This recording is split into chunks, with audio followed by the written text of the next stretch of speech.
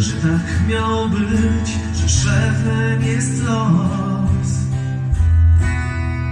Ogarnęła mnie jak mgła. Kocham jej smak, kocham wszystko. Ona wie. Wie dokładnie co mnie